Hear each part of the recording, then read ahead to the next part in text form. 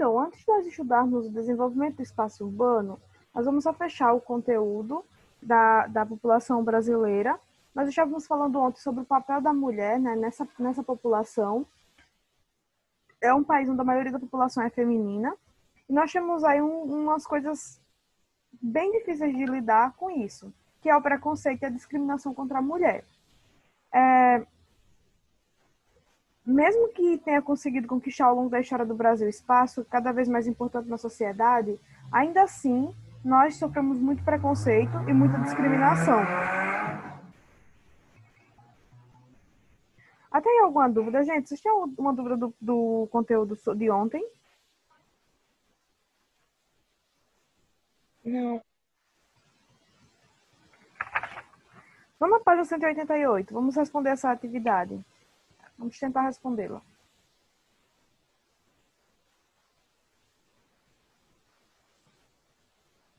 Ah, antes de nós começarmos a atividade, é importante dizer que hoje nós temos mulheres chefes de família.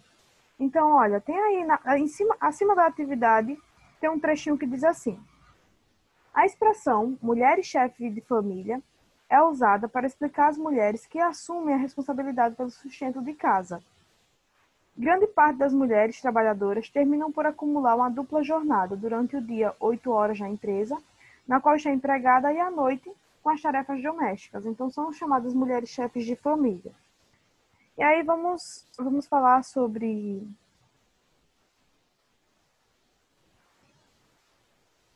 a atividade, vamos responder, vamos tentar debater mais um pouco esse conteúdo. Primeira questão. Cite os motivos que fazem é, com que a mulher viva mais do que os homens.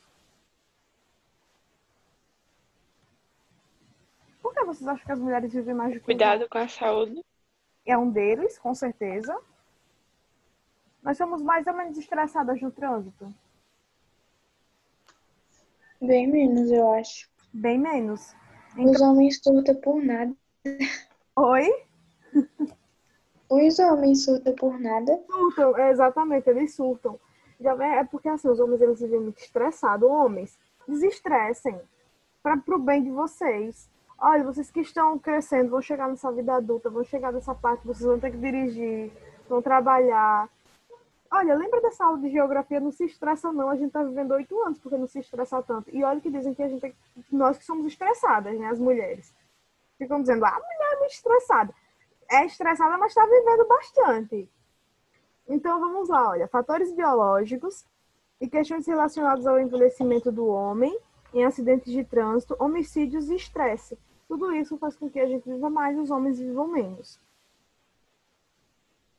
Que tipo de educação as mulheres recebiam em épocas históricas mais antigas que as atuais no Brasil?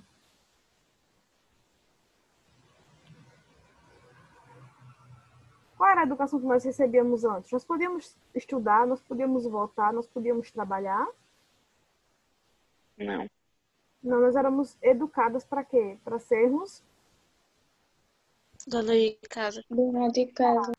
Isso, então por muito tempo, em muitas épocas da história do nosso país, nós mulheres éramos educadas a sermos donas de casa. Tem um filme bem interessante que é O Sorriso de Mona Lisa. Gente, é um filme incrível que fala sobre isso. Existiam lugares que tinham. É, era um tipo de faculdade voltada à educação doméstica de mulheres, para que as mulheres casassem.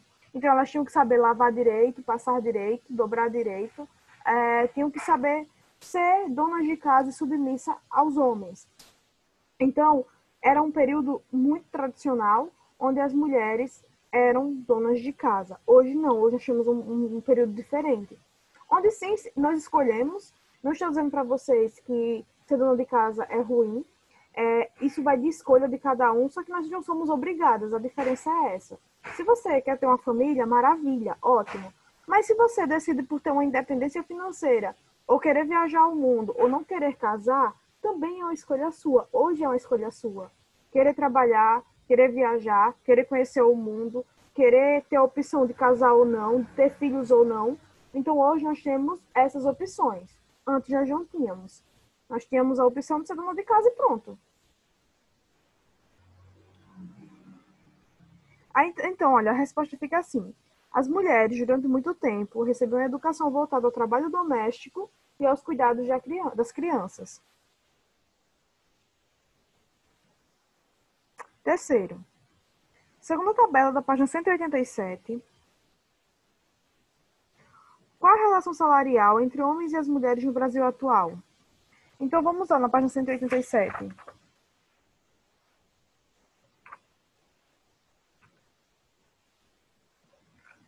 Assim, rendimento médio real do trabalho das pessoas ocupadas por sexo. Por sexo. Em preço, é, em preço. Quem ganha mais?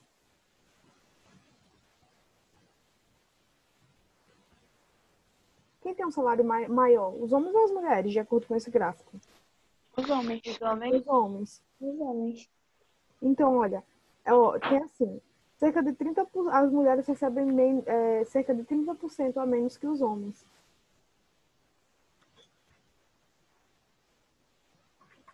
Então, vocês colocam assim, as mulheres recebem 30% a menos que os homens, é a resposta à terceira questão. Então, vejam, nós, nós já avançamos bastante. É, a gente está num período de, de, eleições, né? Um, um, período eleitoral. E aí, às vezes, as, as, muitas pessoas é, não dão importância a esse período. Mas é um período que, principalmente nós mulheres, devemos olhar bem, nos atentar bem, aquelas que já podem né, votar, que têm o direito ao voto. Porque o voto também, gente, foi uma luta tão grande para que nós mulheres conseguimos, conseguíssemos ter direito a isso, porque antes nós não podíamos fazer isso. É um direito, é um exercício de cidadania que nós temos hoje, que foi um resultado de muitas lutas, mas muitas lutas mesmo. Então, nós estamos, nós estamos também nessa luta no mercado de trabalho. Embora nós já tenhamos conseguido é, um espaço é, bem significativo, mas ainda assim nós ganhamos menos que os homens. Em muitos setores, já, do, em muitos setores, ou seja, em muitas áreas, as mulheres ainda assim fazem o mesmo trabalho com a qualidade tão boa ou melhor que os homens, mas recebem menos. Quarta questão. O que significa a expressão mulher chefe de família?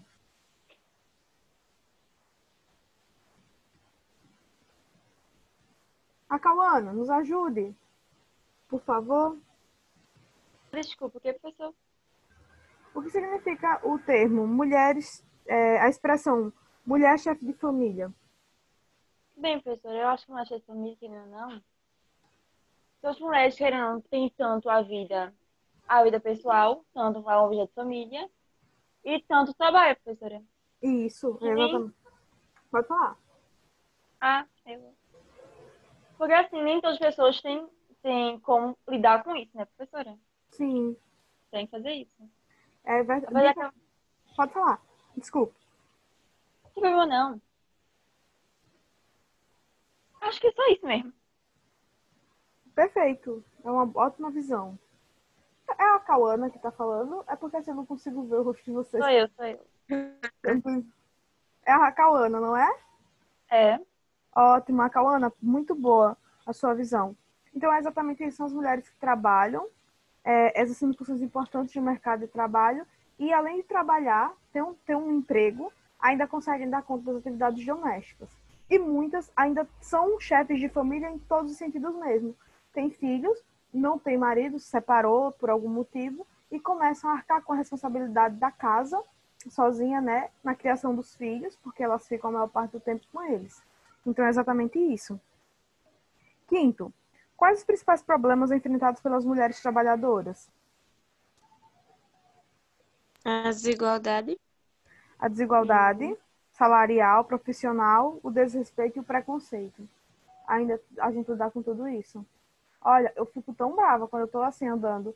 Aí às vezes tem uma mulher dirigindo.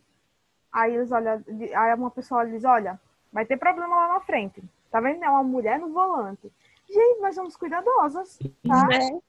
Eu, particularmente, sou cuidadosa quando eu tô fazendo alguma coisa desse tipo. Quando eu tô pilotando uma moto. Eu amo pilotar a moto. Então, eu sou super cuidadosa com e tem mulher que dirige bem mais melhor, assim, bem do que os homens. Isso. Então, mas a gente ainda sofre esse tipo de preconceito não só no trânsito, mas em, todo, em muitas áreas.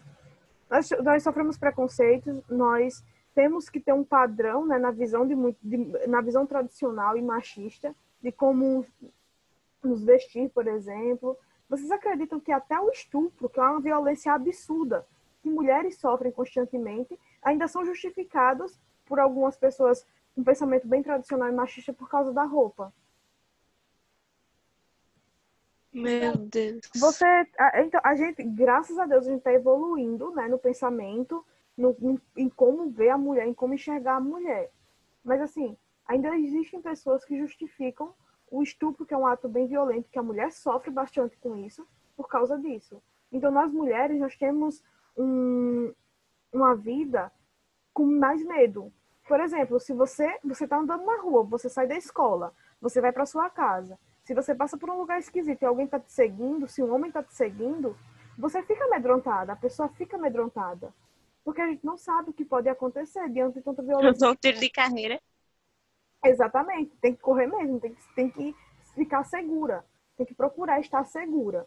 É a mesma coisa desse ambiente virtual. Gente, os ambientes virtuais também são lugares bem perigosos. Olha, Existiu, eu também na internet alguns, às vezes aparecem alguns casos de pessoas desaparecidas, não é? Então, às vezes eu já vi dois ou foi três casos de meninas desaparecidas porque marcavam encontros. Olha como isso é perigoso.